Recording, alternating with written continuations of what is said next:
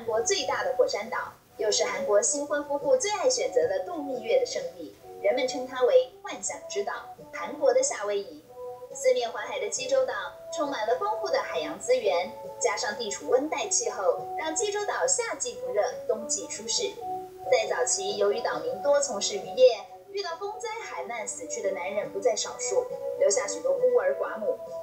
上奇岩怪石到处可见，再加上海岛气候风相当大，因此人称济州岛有三多：风多、石头多、女人多。